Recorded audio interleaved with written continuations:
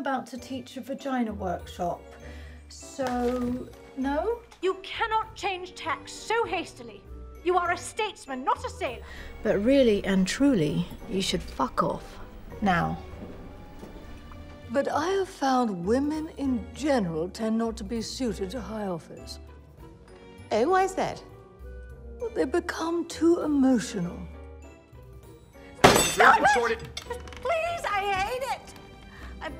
I hate it when you take on like this. I don't follow your drift, Mother. Well, no, I'm sure you don't. You're a misfit. You're an oddball. You're a freak. She's the killer! She's my mother.